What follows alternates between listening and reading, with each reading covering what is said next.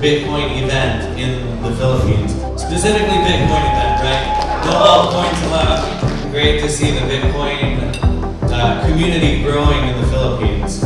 A lot of speakers came from all over the world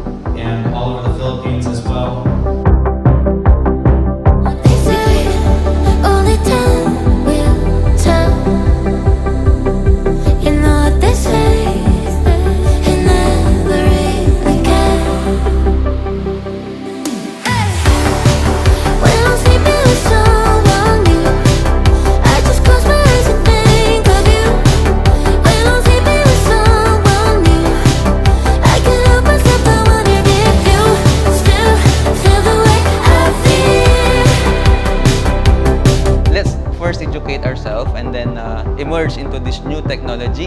And then later on, para ma-share din natin sa mga titos, titas natin. And it could be something that's very interesting as, uh, as a whole. Thank you so much, candidate number three.